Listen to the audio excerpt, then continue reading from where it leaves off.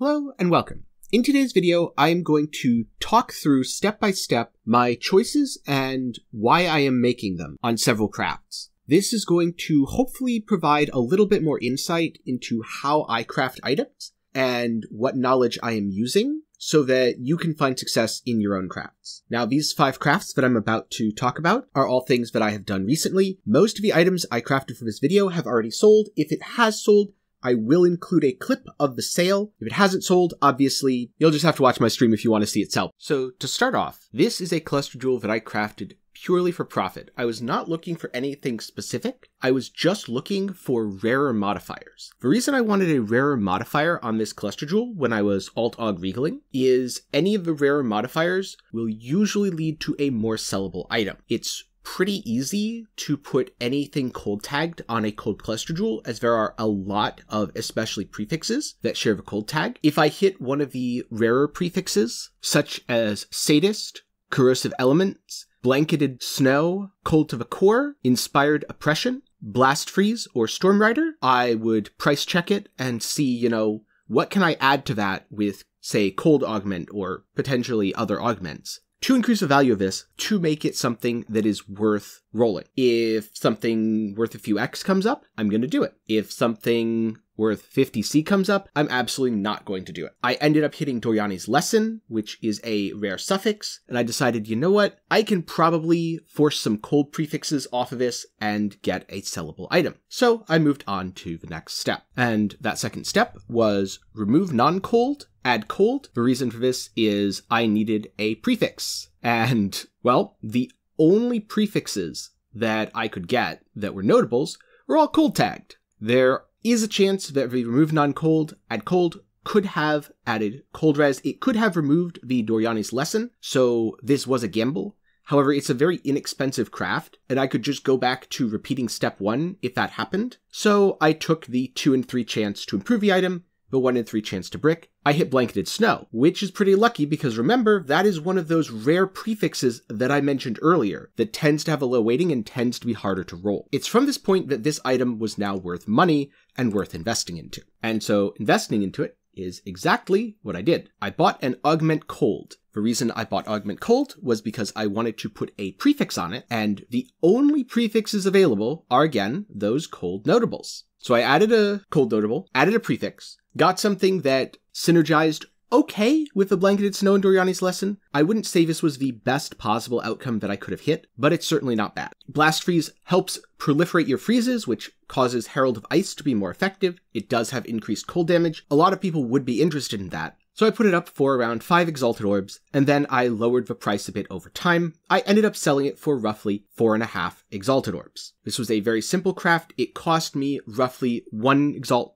to do it. You can repeat similar results. You might not get a rare prefix like that, or you might prefer to alt-aug regal into that rare prefix first, because if you do augment life, the only life suffixes on these clusters are life regen and Doryani's lesson, so you could actually force Doryani's lesson onto anything you want. The total cost for this was around one exalted orb, counting the base, the materials to roll the jewel, and the crafts. It sold for 4.5 exalts, meaning I made a 3.5 exalted orb profit off of the honor shard. Next, I'm going to talk about the agony cord, a Stygian Vise that is very similar to the one I'm using currently on my ball lightning miner. I bought the base for around 50 chaos, and then I was rolling with dense fossils. I want to try to hit maximum energy shield and percent maximum energy shield. I am not particularly concerned with suffixes, as long as they are either removable or potentially useful. Ideally, I would like an open prefix or removable prefix, but if it hits armor, which is very common, that's fine. I rolled it with dense fossils. I hit what I wanted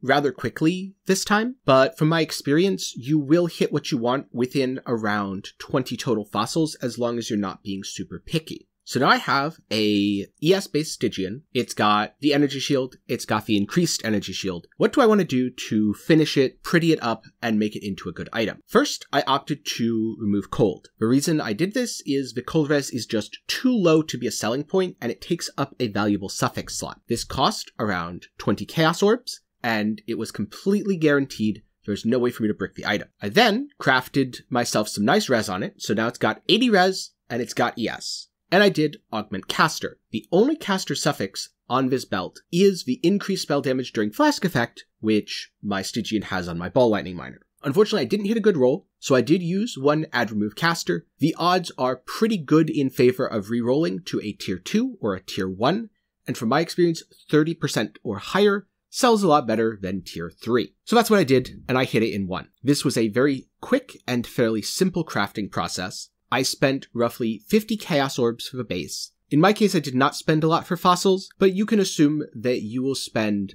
an average of depending on if you buy fossils in bulk, buy resonators in bulk, etc., roughly 20 fossils, or 25 to 50 chaos orbs. That brings the total cost to 100. I then used remove cold, which was 20, augment caster, which was 25, and add remove caster, which was 15, for a grand total of around 160 chaos orbs or 1 exalt. Optionally, if you want to make it easier to sell, you can spend an additional 80 chaos orbs to use a tempering catalyst. You don't need to do that. It definitely helps, but if you're trying to sell it on the lower end of a price range that I've estimated for this item, I wouldn't.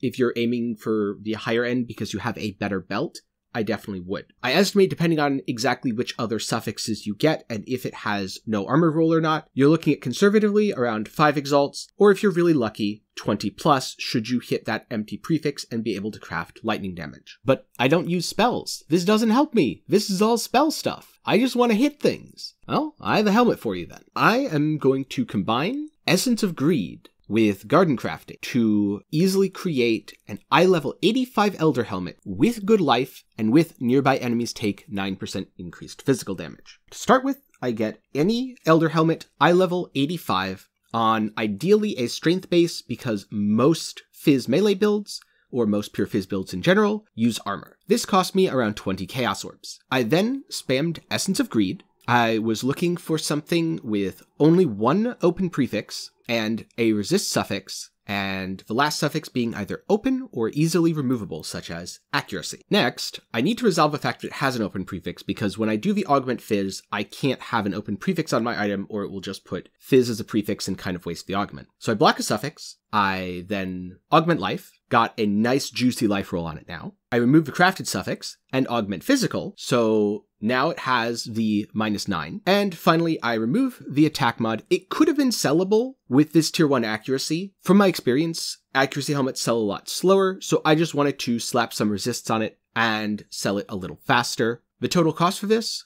was about 105 Chaos Orbs. I spent roughly 20c on the base, 30c on the Essences of Greed, 30c on the Life Augment, 15c on the Phys Augment, and 10c on the Remove Attack. I currently have the helmet up for roughly 6 Exalted Orbs. It has not sold as of yet. Generally speaking, helmets can be worth between 4 and 9 Exalted Orbs depending on what they roll. One of the nice things about this craft is after you roll the Essences of Greed, there's very little RNG involved. It's all easily done and deterministic. On to the last two crafts, which are both a little bit more complex and significantly more expensive. First is the titanium spirit shield that I rolled with dense fossils and then finished with the garden. So to start with, as I was rolling with dense fossils, I was keeping an eye out for good ES or the potential to get good ES, i.e. high flat and percentile ES with any other prefix. Or I was looking for chance to block spell damage. Socketed gems have reduced mana reserve, and in some cases, possibly something like a higher tier spell crit or plus one to level of all spell skill gems of a specific type, be it chaos, fire, lightning, etc. These are all bases that will sell quite well when finished and they all have a potential to be finished using the garden. In this case, I did not have the best base, but I also didn't have the worst base. I had a good starting point, I had a lot of potential ES, but it needed quite a bit of work and some extra crafts. So I needed to fix the suffixes, needed to get rid of the low tier mods. I do that with a remove cold and then a remove non-defense, add defense. The remove non-defense will give me my ES on block. I then augment with fire just because I wanted to have a res suffix. It didn't have to be augment fire. It could be augment cold. It could be augment lightning. It could be augment chaos. It could even be augment caster. It's up to you but I just picked something at random. I then rerolled the fire, because it wasn't quite high enough, in my opinion, to get the shield sold. I've noticed that shields that have over 400 ES and 40% plus res were significantly more valuable than shields with 20 to 30. Now, in terms of his craft, step one does have a lot of RNG. I've spent upwards of one exalt in fossils to craft something like this a lot of the time. The later steps are more deterministic and therefore little to no RNG. There's a little bit when it comes to rolling a good resist roll to get 40 plus. From my experience, three or four rerolls is all it ever takes. What's the end result? Well, I spent around five and a half exalted orbs in total to craft this. That was probably a little cheaper than I would spend on average. I'd say I'd probably spend six on average, and I sold the shield for nine exalted orbs. This means that, again, on average, I would probably be making a three exalt profit. In this case, because I got a little lucky, I made around a three and a half exalt profit. The profit margins for these shields are kind of all over the place. It can be much, much, much higher than what you saw here. You can sell shields like this with better rolls, with some of the things I mentioned in the beginning, for upwards of 20 exalts, especially if they hit high ES or good resistances. Finally, High Life Hunter Two Tone Boots with movement speed and tailwind. This is the most expensive item that I ended up making. If you're an ES build, you can use sorcerer boots in place of two-toned. To start with, get some eye level 86 hunter boots. I prefer to slim them myself as it is less expensive than just buying 86 two-toned hunter boots. Then I use Essence of Greed. Note you might want to use Zeal or Woe if you are making the ES version. The point is to get a stat that you want on it and roll it until you get a second stat. In this case, I'm putting high life, 90 plus, with the deafening essence of greed, and rolling it until I get high movement speed, 30 or 35%. After I do this, I need to make sure the suffixes are full. If you're just using them yourself, or if you are just selling for a small profit, you might not need great suffixes. It is very, very important that before the next step, your suffixes are full. Then do remove a non-critical modifier, add a critical modifier. If your suffixes are full, this must remove a suffix, thus you will not break the life or the movement speed. And this will also add Tailwind, because Tailwind is the only critical tagged hunter suffix. You now have Tailwind boots with high move speed and high life, and ideally an additional mod or resists. If there's an open prefix, feel free to augment some life to increase the value. If you were using a crafted suffix and it didn't get removed, feel free to craft some resists or whatever else you might want. All in all, this is a fairly straightforward craft for how profitable it is. The reason it is as profitable as it was for me is because I also hit the poisons deal damage 10% faster. I found that most of these boots do tend to sell for more like 6 exalts. This pair sold for 12, again due to the poison mod, which was lucky on my part. I actually had a fair bit of luck while making this video, but keep in mind the more that you craft, the more you will have those a little bit lucky moments. So the total cost for me in this case, 2.5x of a base, around 60c for Essence of Greed. It can easily go over 100c here. It will vary. Sometimes I've hit it in 1, sometimes I've hit it in around 12. Remove non-crit, add crit was about 20c. Augment life was about 40. So around 3 to 3.5 exalts for the cost, and it sold for 12 exalts. This means that I made over 8 exalts in profit Again, if we estimate more conservatively and assume that it costs around 3 to 4 to make and sells for 6, you should expect at least 2 exalts back when using this method. In closing, I hope you have found this helpful. I tried to walk through this process, explain my reasoning and my thinking behind why I was doing what I was doing. If you're wondering, well, how did you know that this was the only caster mod? Or how did you know this was the only crit mod? The simple answer is I looked on PoEDB or on Craft of Exile, and I used that. It's very easy to check what tags are on mods on an item. If you're trying to remove them, you can just do that in game by holding Alt with advanced mod descriptions on. If you're trying to check what tags are not on an item, but could be,